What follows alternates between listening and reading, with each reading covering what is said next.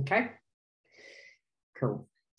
Right. Well, hello, lovely listeners. Today it gives me the great honor to be speaking with Amy Denson. Amy is a retired professional athlete who was diagnosed with her second autoimmune disorder in, back in 2016.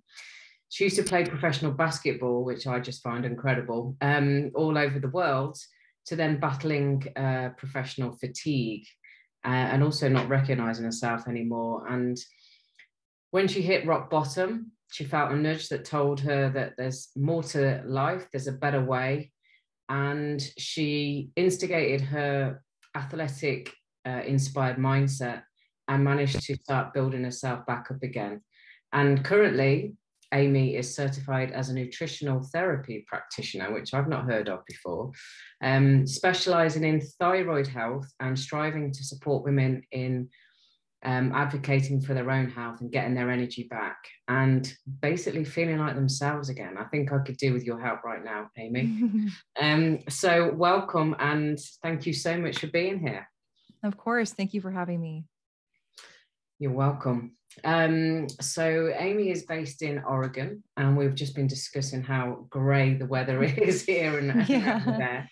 And we're just um, obviously back from the new year and from Christmas and, and chilling out time. But I, I think I feel even more tired than I did before Christmas. I think when you slow down, it's dead easy to get even lazier and even more slowing down. So um, that, that wasn't great English, but anyway. So Amy, um, over to you really i would love to hear more about your you know what happened how you became a you know professional basketball player mm-hmm.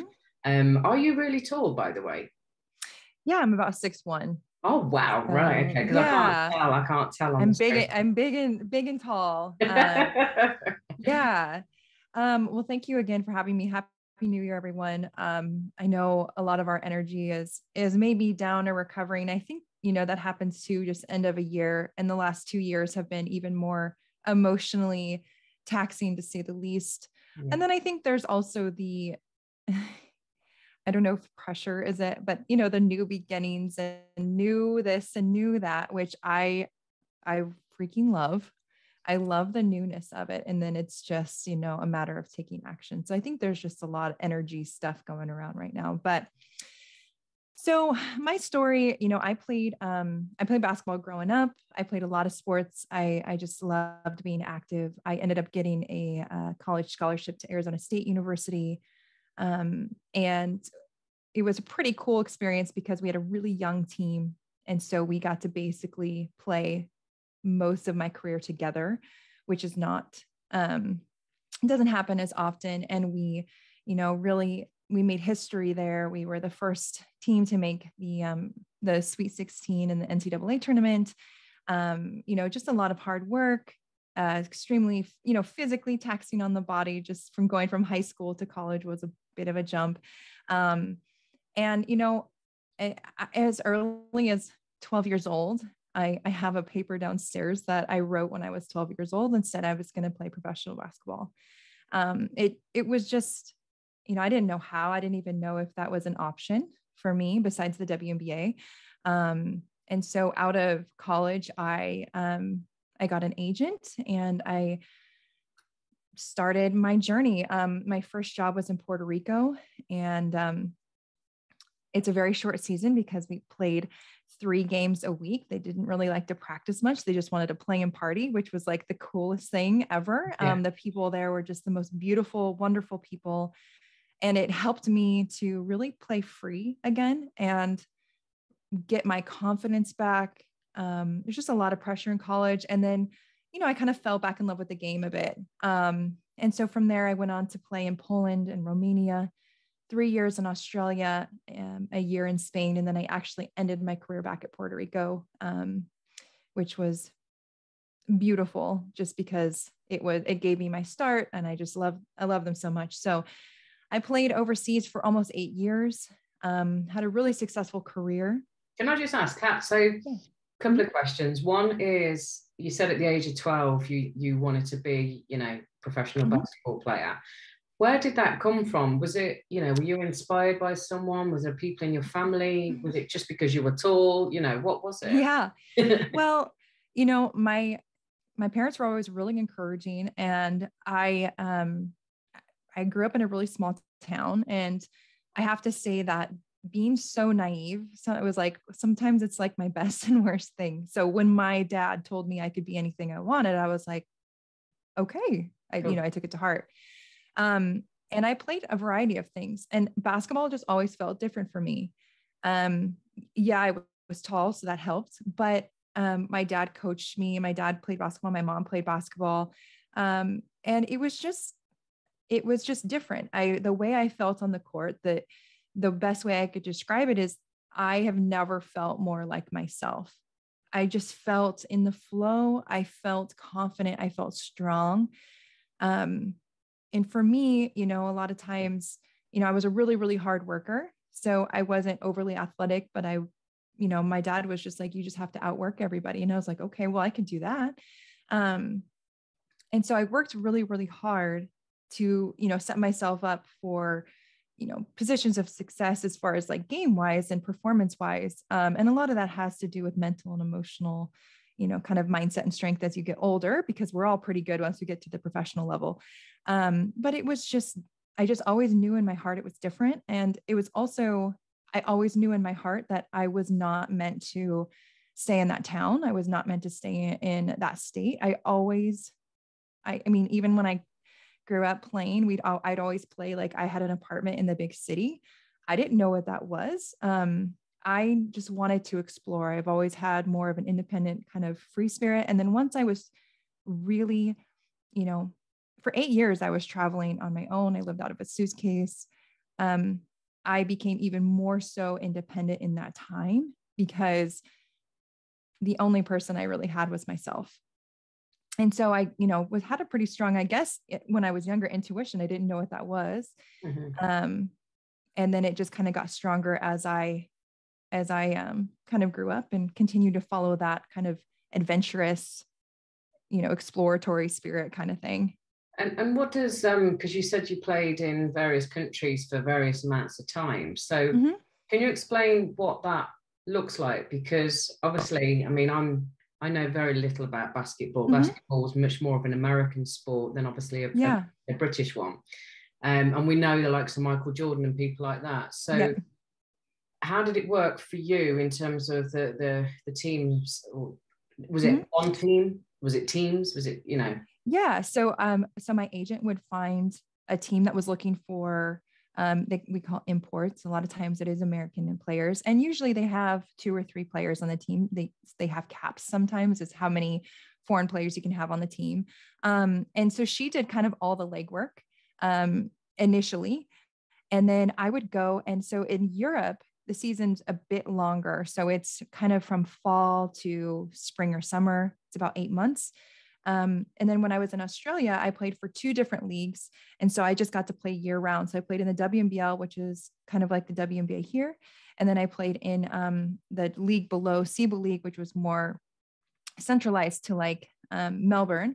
Um, and so I just played with one team. And um, at that point, I was kind of representing myself. But yeah, and, you know, women's basketball is pretty big overseas.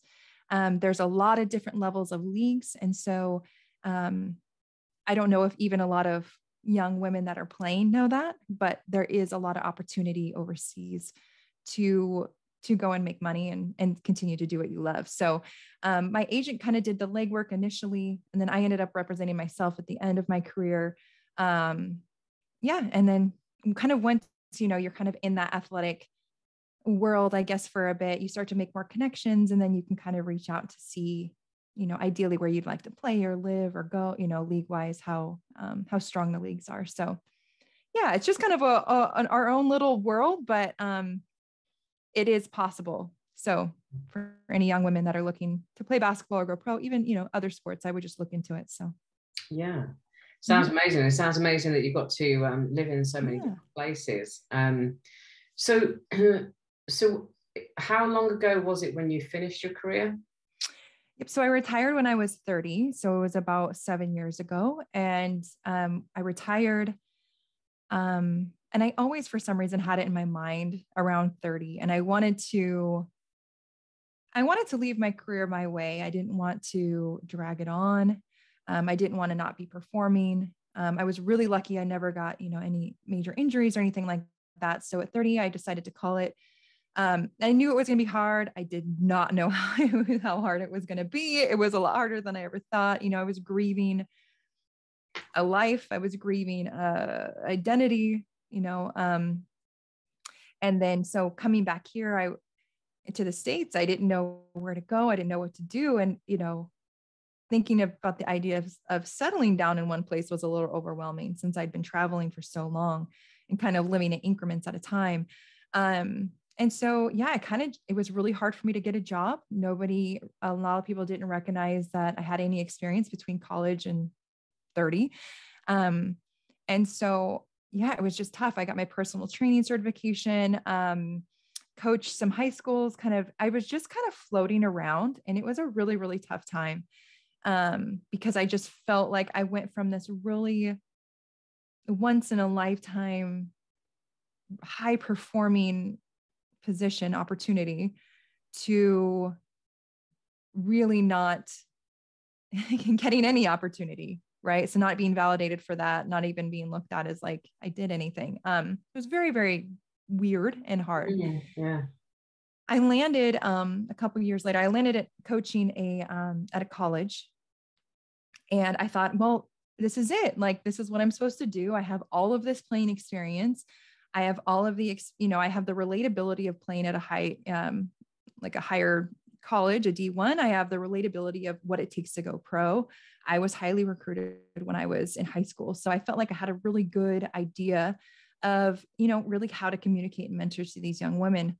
Um, I was there for three years and I loved the coaching aspect. And I think I know that's something I really could have thrived in, but I was on the other side of that. My colleagues, um, we did not mesh well. And it really made me face a lot of issues that I have as far as I tried to fix it, it couldn't be fixed.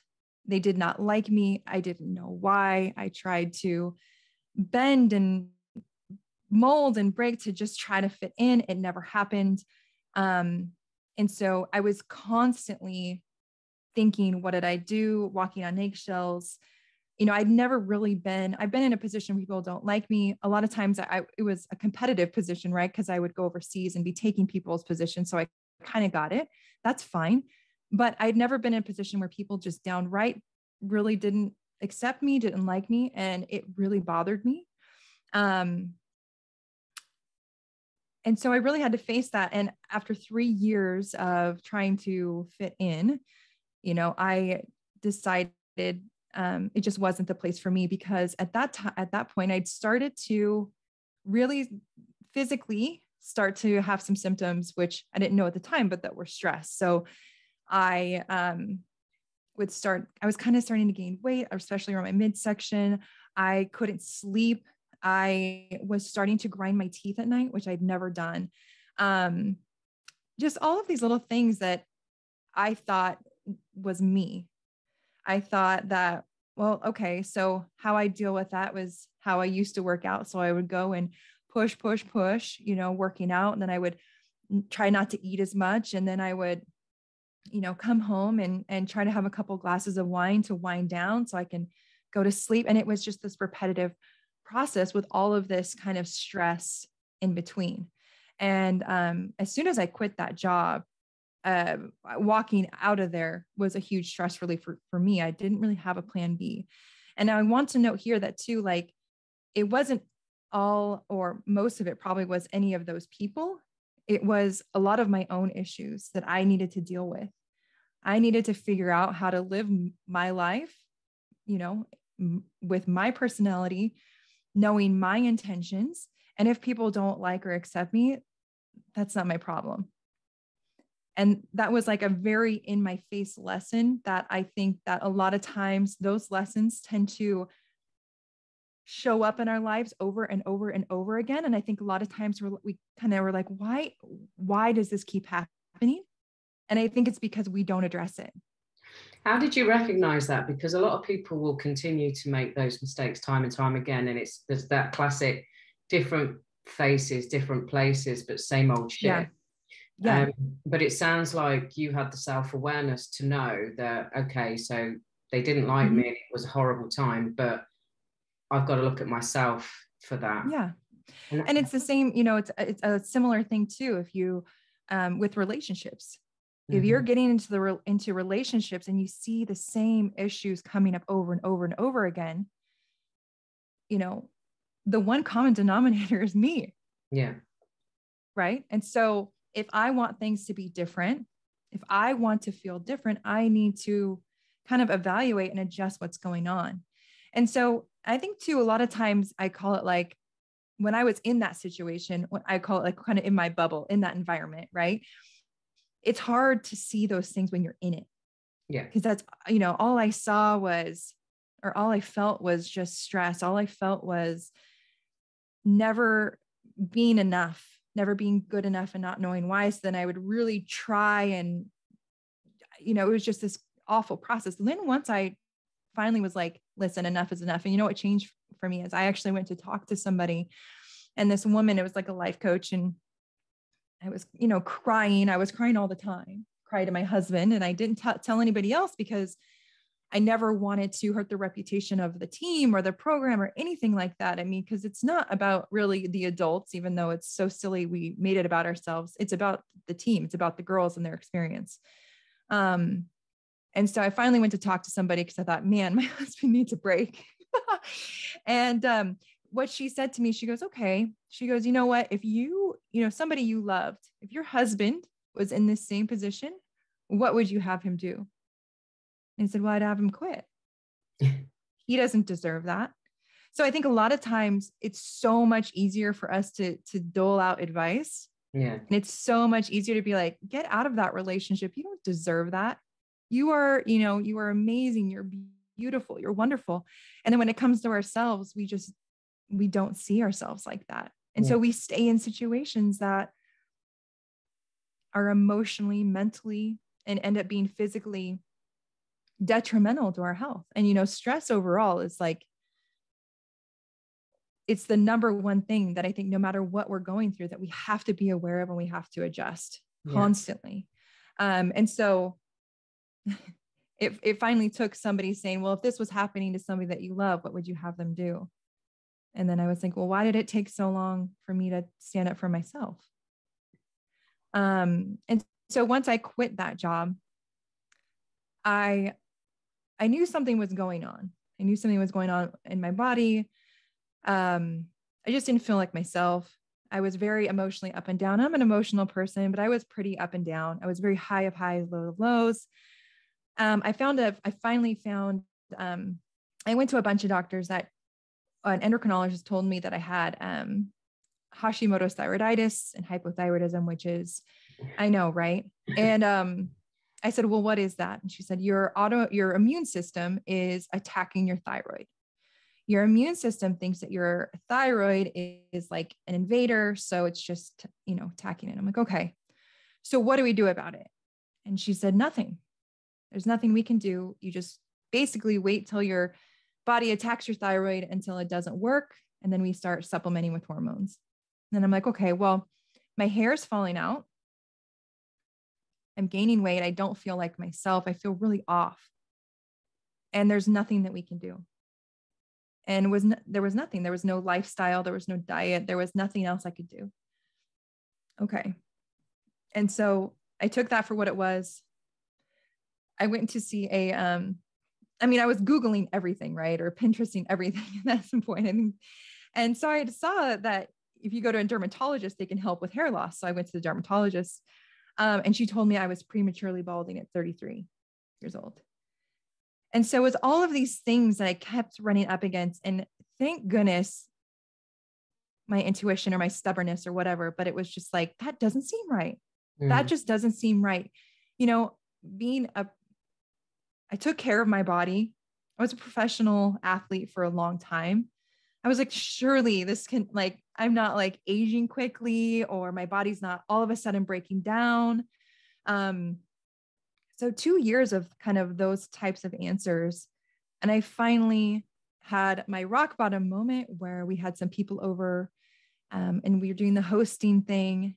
And I got really, really sick for, for no, I didn't understand why I got really sick. And I, I'm fine, I'm fine, I'm fine. As soon as that door shut and everybody left on a Sunday or whatever, I started bawling. I looked at my husband and I said, I don't recognize myself. I, I literally don't recognize myself. And what now I know is a lot of inflammation in my face. But I said, I just don't feel like myself. And I'm like, there's no way I can, this cannot be what it's, what it's like, like forever. I, I this cannot be it. So that day I kind of started my own journey. Um, I found a naturopath that has been the most supportive person in like healing who has experience with Hashimoto's, who has experience with autoimmune, who has experience with thyroid disorders. Um, and when I went to her, everything was so escalated. And I think this the stress that I'd accumulated throughout my life, but I think really in that time period where I was just, you know, the three year time period, I think I'm probably always going to have thyroid issues, or maybe always, oh, obviously, I'm going to have autoimmune issues. I was born with an autoimmune issue, and then this is my second. Um, but I think the stress of that just totally escalated my experience. Um, and so it's taking me three years of work um, to really, you know, two years really to start feeling like myself again. And three years in, now I'm like, you know what? I don't want anybody else. I don't want any other woman to go through the experience I went through.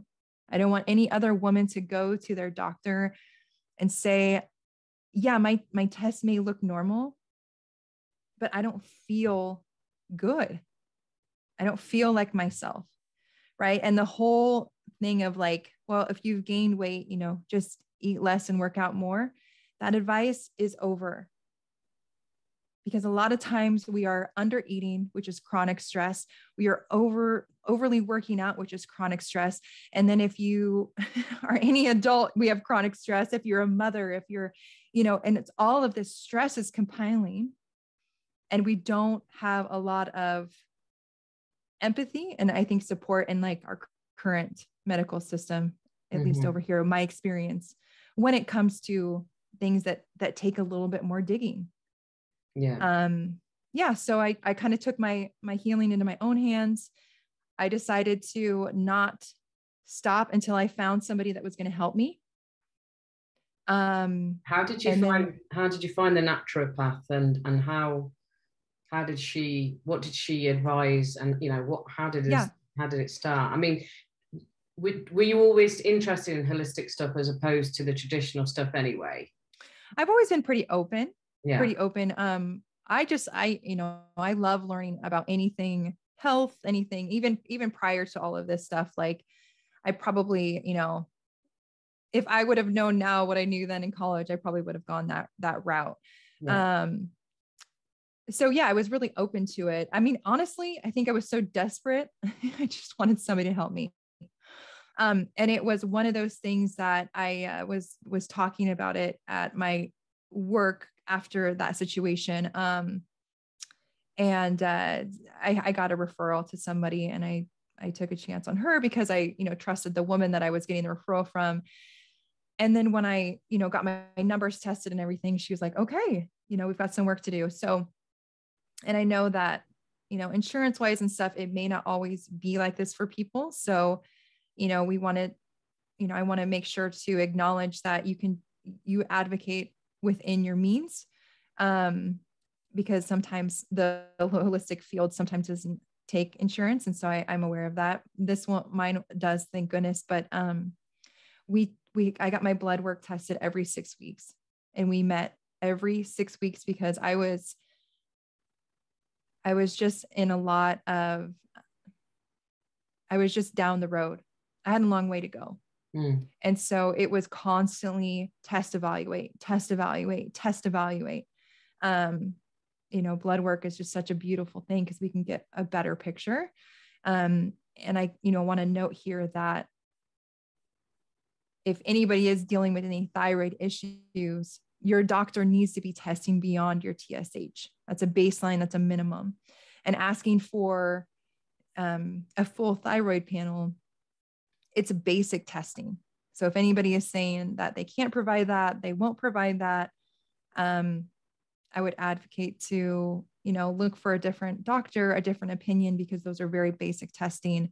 And sometimes doctors don't really feel like it's um, worth it to run the antibody test because even if you have an autoimmune um, disorder that's relating to the thyroid, there's not much we can do about it anyway. So we and and I don't think that at all. I think we need to know what we're dealing with. We need to know if there's some sort of autoimmune response going on because autoimmune can be so dang tricky.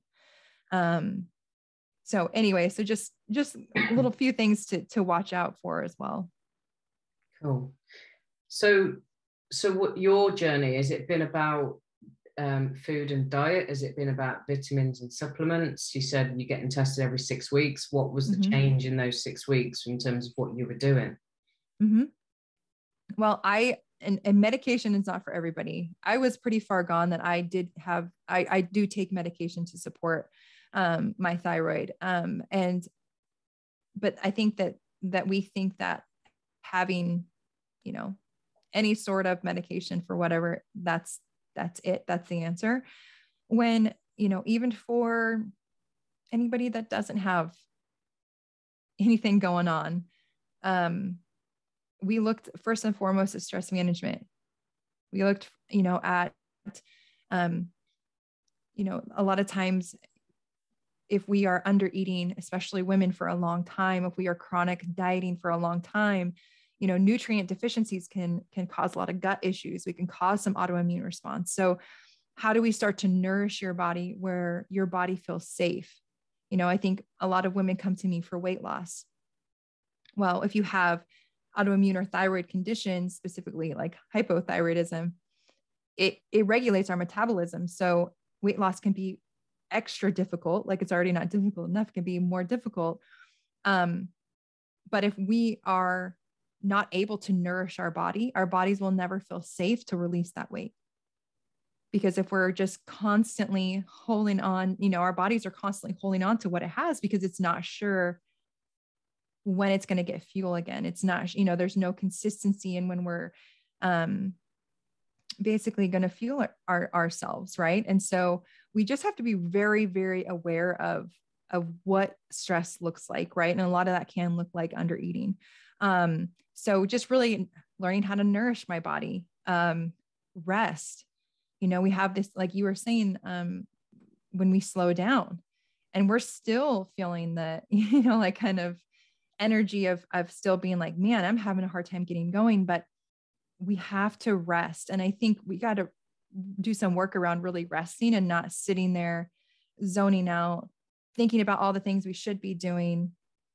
You know we're not really resting right? We're just sitting there and having the mental games run through our heads of the shoulds and coulds and woulds and then we get down on ourselves. So resting sleeping properly, m- moving our body in a in a really supportive way. Now, that's probably not going to look like a lot of high intensity interval workouts or sprinting or CrossFit or anything. And not that I love all of those things. It's just that we have to reduce the stress, the overall stress on our body. And our bodies love restorative movement. Our bodies love walking. We could, I mean, walking and yoga, um, Pilates, just stretching. You know, we don't do enough of that stuff. A lot of times we just want to get it in, go to the gym for 30 minutes, you know, bust our ass and get out and go back home and sit on the couch. Well, it's not, it's not about that, right? It's about moving our body in a very, I don't know, nourishing way throughout the day. So it's just like kind of looking at weight loss differently. You know, for me, I, yeah, I probably could have stood to lose some weight, but I'd rather have energy. I want to chase energy. So how do we do that? You know, so how do we, how do we get you to feel like you again? That was what was what was more most important to me. Um. And so that's the way I coach, right? A lot of women want want their energy back. They want to feel like themselves again. They want to have, you know, more confidence. They want to feel good in their skin. They want to run around with their kids.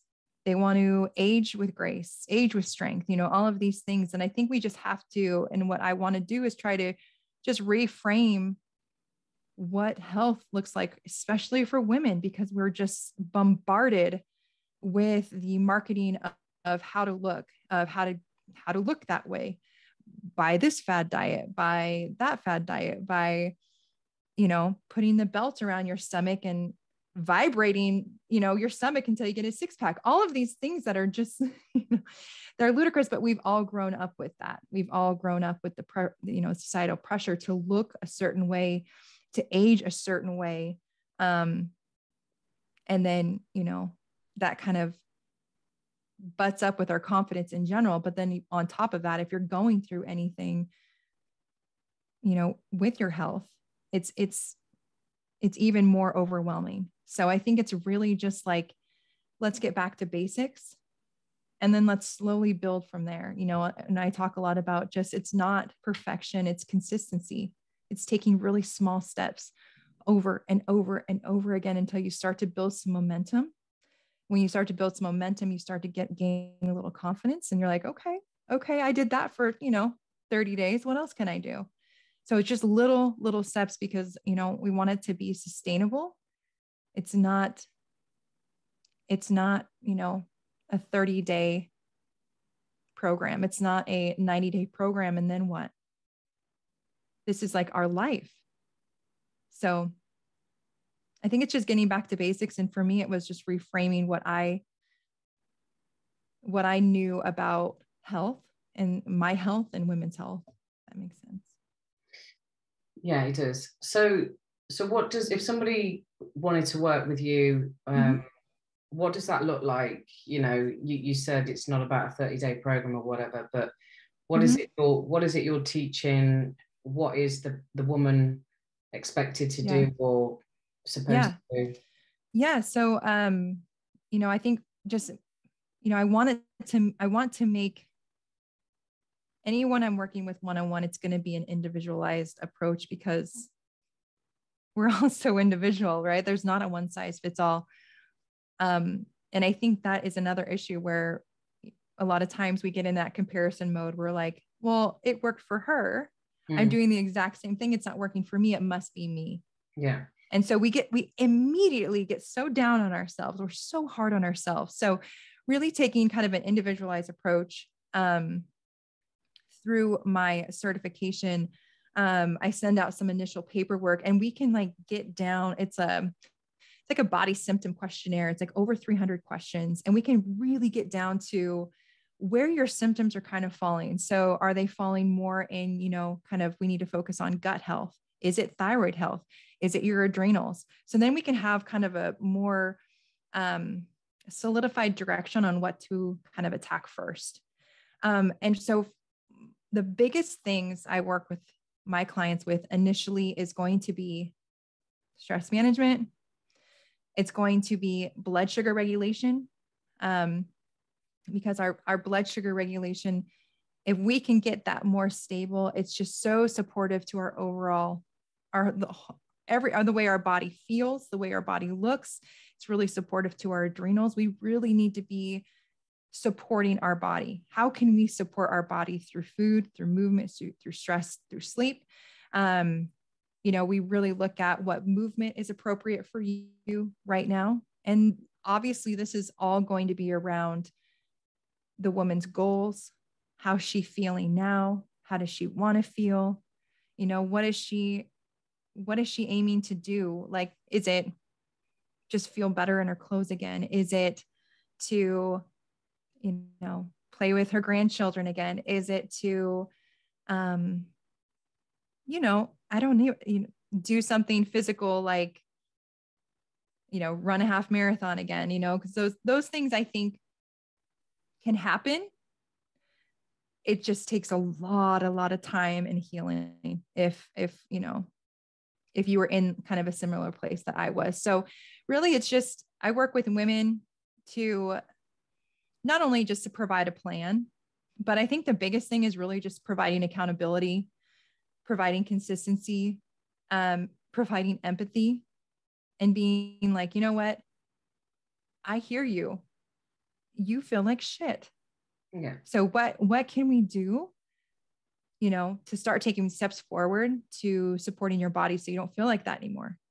And then we start making tweaks. And if that doesn't work, okay, great, we'll make a tweak. And that's, you know, I think really looking at our health is just like, it can be a trial and error. We can try different things. And if that starts working, okay, we have, uh, you know, we have another direction. If it doesn't, we start tweaking. And I think even if you're not working with anybody, just looking at your health like that is like, as long as you're trying different things to improve your health, that that's all we can do right? We can try different tools see what works see what doesn't and i think a lot of times we get so we get so frustrated with things that are not working on our timeline that we quit. And that's where we we we cannot quit on ourselves we, we cannot quit on our health. Um and we just tend to do better with extra accountability. Yeah. Yeah totally agree. Um accountability is something that I I always shied away from, you know, in lots of ways because it was just like, oh no, because because then if I don't do it, um, you know, I'm going to feel like shit and I'm going to let the other person down and all the rest of it. And I sort of got over that about three years ago, four years ago, in, in another thing that I was involved with, and having that accountability um, was crucial, absolutely crucial, mm-hmm. um, because it's so easy to just to get lost in your own stuff, isn't it? And then yeah, make excuses and then oh it's been three weeks now so there's no point in me doing anything else now. Right. Yeah exactly. We just have so much of that internal talk and a lot of it is negative. Yeah. Um and i think you know one of the biggest things is knowing this about myself as well as like i will show up for you all day. Why don't i show up for, for me? Yeah. And i think that's just a good question to ask ourselves. It's not it's not a negative thing. It's just it's just being curious you know why why am i why would i be so much more upset to let you down? But i am not as upset to let myself down. Mm-hmm. yeah you know and just yeah keeping promises to ourselves. So i think too just kind of evaluating that too. And and just because you need accountability that that's not a weakness. That's just knowing who you are.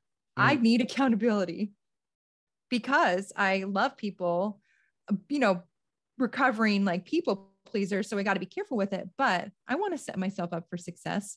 So if I know you are holding me to it as well, um, it helps me keep promises to myself, right? So I can be growing in both areas, but I think it is something that you know we we need to ask ourselves more. And just what's it actually called? What you what you do? It's called a nutritional therapy practitioner, NTP. And is that a thing or is that just your thing?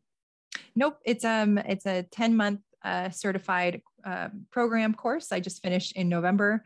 Um, yeah, it's it's amazing. So it's basically just looking at, at your your health um, in a more holistic way. So how do we address it with you know through foods, uh, through movement, through sleep, through stress management, and through um, supplement support.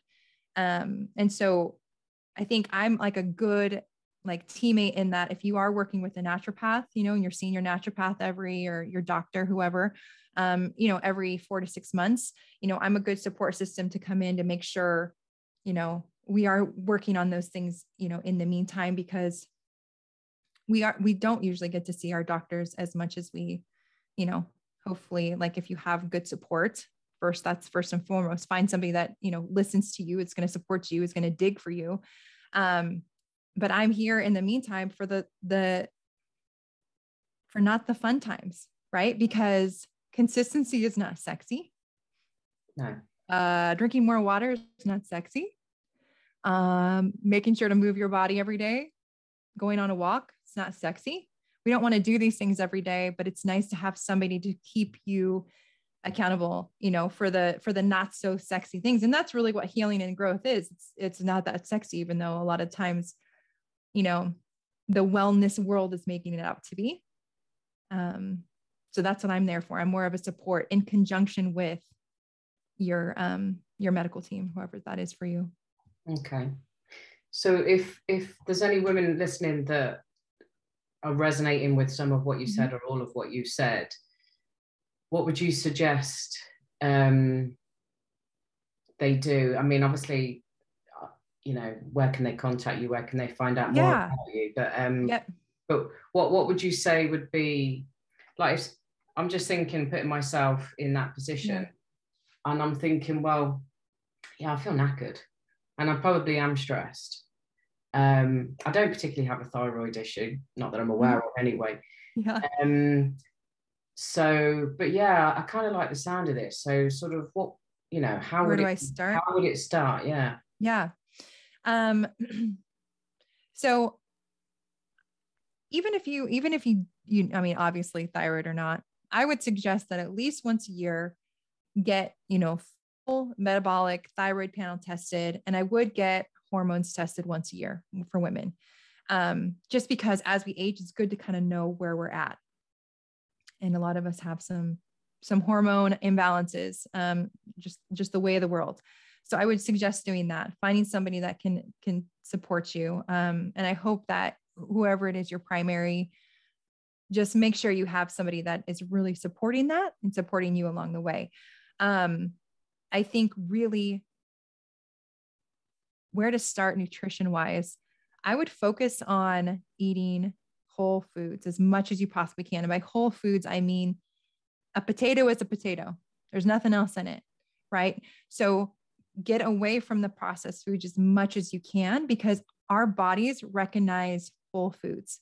So it's not only able to pull nutrients from those foods, it's able to break down those foods. You know, we want to we want our body to be like a well-oiled machine, so we need to give it fuel that it understands. So a lot of times if we're looking at processed foods and you can't you know read or you can't um like pronunciate the ingredients, your body can't understand the ingredients either. That's a good way to think about it. Mm. Um, if you do have processed stuff, you want, you know, as few of ingredients, you want to understand the ingredients. So, really getting back to basics, whole food diet. Um, most women are deficient in protein. So, we really want a, I coach a protein forward um, kind of approach. So, making sure you're getting enough protein in your diet is key. It's absolute key. Um, so I'd focus there. And then um, hydration, we want to make sure you are hydrated. Water is so important, but also making sure you get um, some extra goodness, adding some electrolytes to your water. Um, Element, LMNT are the absolute best. They're so good, but there's other ones. Um, you can also add a dash of sea salt to your water. You don't want to taste it, but that sea salt provides minerals that are able to like help our help the water kind of get into our body, get into our cells. So it's not just like going right through us. Um, and then really, I would focus on consistent sleep, seven to nine hours. If you are, if you are tired, your body's, it's telling you something. If you are exhausted, your body's telling you something. And I think a lot of times, you know, we look at our symptoms of hair loss, which is the worst, weight gain, um, chronic fatigue, which is what I had at the time, but I just thought I was overly tired. Those are ways of your body communicating with you. It's nothing that you're doing. It's nothing that, like, you're not doing anything wrong necessarily. Your body is just saying, hey, we need to change some things up. We need to get some support. So, really listen to your body. If you're tired, rest. Don't push it. If you if you haven't slept, if you are a mama and you're not sleeping, rest is more important than going and doing the, the bike workout because you're already in a, a deficit of, of sleep. You're going to be in more of a, a stress state. So, really listen to your body. If you guys are tired, sleep. If you want to just hang out on the couch, hang out on the couch and enjoy it right? Don't feel guilty over it. Enjoy it. Give your body, your body's trying to tell you something, give it what it, what it needs. So I would really just get back to basics. Um, try to sleep seven to nine hours a night consistently as much as you can. Mamas, that's going to look different, obviously. Um, and just, just listen to your body. Just listen to it. It, it, our bodies are working with us, even, even though sometimes it feels like it's not. Mm-hmm. It's just trying to communicate with us. So yeah. Yep. Um, stress, whole foods, focus on protein, rest and sleep. Excellent. Yeah, I'm hearing that more and more, you know, in terms of, these podcasts I've been doing as well, you know, the stress that manifests into all sorts of weird and wonderful things. Mm. And, you know, we know stress is a killer, we know stress is a problem, but our life really has forced a lot of people into that situation. Mm-hmm. You know, it's just the way the lot that, you know, the world has evolved and you do feel selfish or lazy or whatever if you're just going to sit down on the couch and not do those things you were supposed to be doing mm-hmm. um, and and it's a perpetual cycle and, and you never get out of it and it's crazy yeah. we can't get away from it a lot of times so we have to figure out how to how to pick our battles you know what are our priorities and then what are some tools that we can start to implement to to at least give it a run for its money yeah, absolutely. Um, Amy, thank you so much. It's been fascinating uh, listening to your story and also, um, you know, the, the way that you're concentrating on your health and, and other people's health. Um, so if people do, you know, if there's any women listening that mm-hmm. would love to know more about you and how can they do that? Yeah, um, my Instagram is the best way. Um, it is at the thyroid PAC. And so PAC stands for purpose, accountability, consistency, and knowledge. Um, that's the best way for now. Um, um, I'm going to be dropping my own um, podcast in the next few weeks cool. um, called The Chronic Athlete. Um, so that will be up and going probably in a week or so. Um, and so, yeah, if you'd like to hear more, you know, um, just like you're doing, you know, I just want to provide proof through storytelling of you know inspiration resilience and and all things wellness because you never know whose story someone can relate to yeah. um, and that may be just the step that they need to to take action in their own life so. Totally agree. Totally agree. Oh that that's interesting. I'll uh, i'll look out for that. Um, yeah. and i always finish these interviews with um, is there anything you feel call to say to just to leave the listeners with any pearls of wisdom or anything that that feels relevant for right now um yeah well i you know i appreciate you so much um and i i have such a passion for for helping women um and i think you know as we were discussing um just this time of year with all of the the starts um, all of the new year, new you, you know, we do not have to shed who we are. We just have to evolve who we are. You know, a lot of times, and I'm guilty of this too, of like we get sucked into all of these before and afters. And a lot of times we want our own before and after, right? Our own before and after picture. And we see these pictures sometimes and we're like, I'll never go back here. I'll never. And we we have to just remember that that before picture, that woman was the woman that made the choice to start. Mm right? So we never want to say anything down on that woman. She is still you. And if you are in your before moment, you just need to start. And it does not have to be overwhelming. It does, you do not have to climb the mountain today. You just have to find something that's sustainable to get you to your after, which actually never comes. it never comes. So I just want, you know, to be encouraging of this time. I'm all about the the the goals. I'm all about taking action in your, your life. But just remember that the before that you all are craving, she had to start somewhere. Yeah. Love it. Be proud of that woman. Yeah, definitely. Definitely.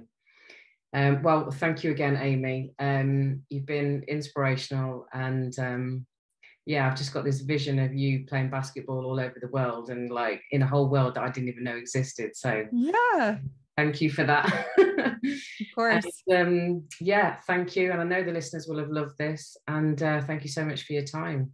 Of course. Thank you so much. Take care.